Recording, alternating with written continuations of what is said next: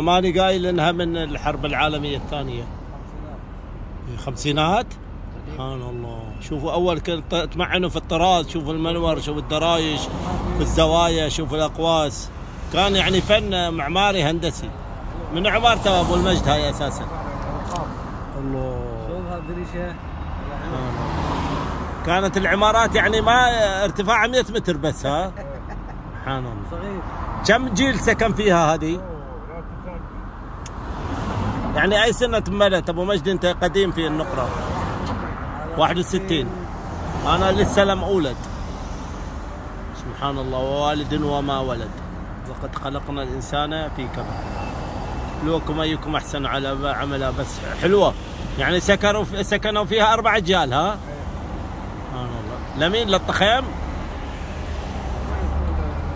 أو عبد الرحيم مطوع أو هواري هو العثمان. وما زال والله فيها يعني ذكريات وفيها أرواح. والحين مكتوب عليها كنا الأوقاف. لأن بعض الناس يوقفون لوجه الله. شكرا.